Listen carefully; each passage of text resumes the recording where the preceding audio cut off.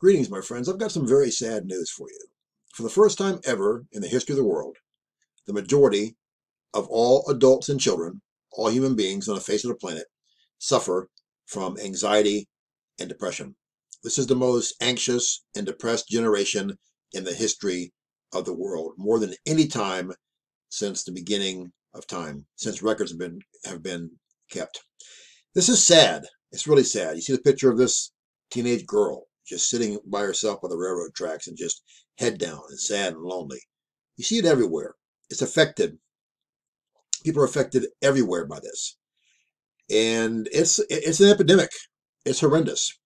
And people are wondering, why is it like this? What's causing this? I believe that I know the exact cause, and I'll share that cause with you because I don't believe in any coincidences. So this is a new survey. It's within the last year. Also within the last year, interestingly enough, another survey came out that said this is the most godless generation globally since the beginning of time as well. There are fewer people in the world who believe in God, who believe in Jesus Christ, who believe in the Bible than ever in the history of the world. And these two, I believe, are direct parallels. Because look at America and use America for example. America is the most depressed, by the way, and anxious nation on the face of the planet. Uh, go figure, right? America has turned into a godless place. It was formed on God. God used to love America and bless us and help us. We were the second apple of his eye after Israel. But America started turning its back on God in a real big way when he took prayer out of schools around 1960. And from that time on, America has been in a, in a steady, uh, rapid slide towards hell and turn our backs on God in record numbers. And when you see when you turn your back on God, God doesn't make you do anything. God could make people do anything he wanted to. He's a creator, but he gives us free will. He always has. And what God does is when man turns his back on him, then God turns man over to the devil. The devil is the God of the skies, and he's the one who brings depression. He's the one who brings anxiety. He's the one that brings all of the terrible things these terrible things just affect so many lives and and make people suicidal. And watch my sermon this weekend. By the way, it's it's a, it's a segue. I'm going to be actually talking about suicide, what the Bible says, not what man says, not what um, any man lies about, only what Scripture says, and show you the truth and the facts.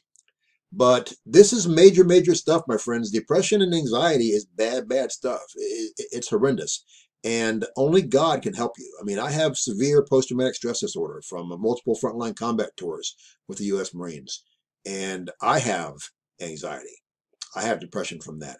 But the Lord helps me to be able to fight it, and He helps me to be able to keep my head above water. He, he gives me an outlet here to help you, and by helping you, I can help myself. But it's horrendous. It, it's a terrible thing. It, it's it's awful, and I love Jesus with all my heart. But even Christians can be affected by this because you can't do anything about combat and background, things like that. It's just horrendous. People have been assaulted and had terrible things happen in their lives. And they're affected by this. Just because you have it doesn't mean you're a bad person or a godless person, but it ties in big time that the vast majority of people in the world are godless now. And the vast majority of people in the world have anxiety and depression right now, just out of the blue, even for small things. There's no coincidence. It's tied in directly. And it's man turning his back on God.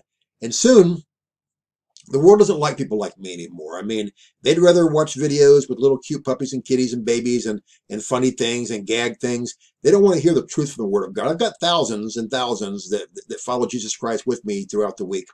But with all of the subscribers and friends I have, I should have 100,000, a million views every time.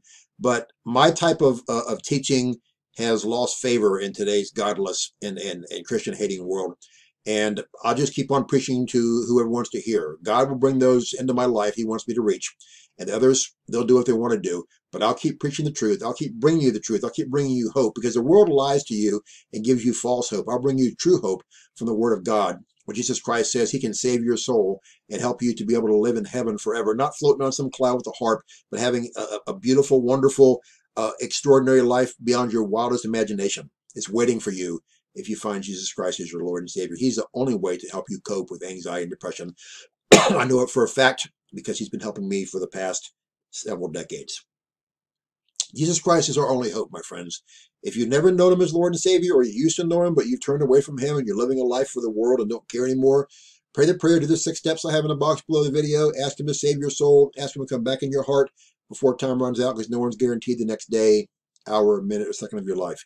If you like prayer, contact me. I'll pray for you every day. I love you all so much. I don't want to see anyone suffering, anyone languish and, and, and spend forever in hell in the lake of fire because they weren't ready to meet Jesus Christ.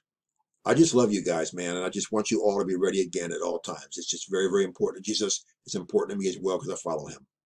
Make sure you share my videos and my sermons to a to a dying world who needs Jesus Christ, and, and Jesus will reward you openly in heaven, my friends, for doing so. For those who come to Him and come back to Him, if you make it there as well.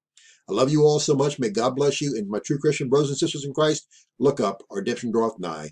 We fly soon. Take care of yourselves. Pray for those who have depression and anxiety. You don't have to know their names. Just pray for them. They need Jesus in their hearts. They need peace. They need help. And they need to be able to get through this in their life. Please touch them and bless them. I love you all so much.